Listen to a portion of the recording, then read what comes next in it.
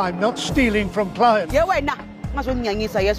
either you do as i say or i will hand you straight over to gaddafi and that one he's a bulldog he will bite you and bite you and hang until he gets what he wants uyadlala How?